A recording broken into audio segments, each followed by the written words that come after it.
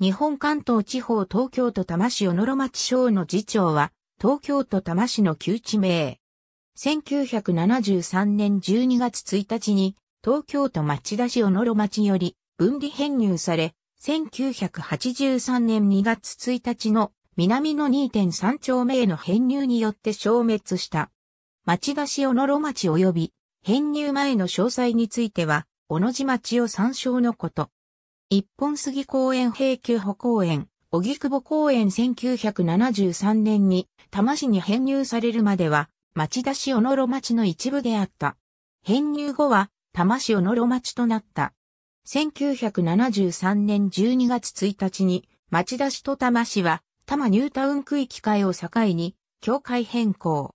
この時、町田市小野町、上尾山田町及び下尾山田町の一部が、多摩市に編入され、また、多摩市落合の一部が町田市に編入となった。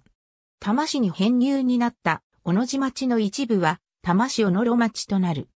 その後、多摩ニュータウン建設で町名整理が続き、多摩市長山5丁目から7丁目、買取3から5丁目、豊が丘4から6丁目、落合4から6丁目、鶴巻4から5丁目、南の1から3丁目のそれぞれ一部となった。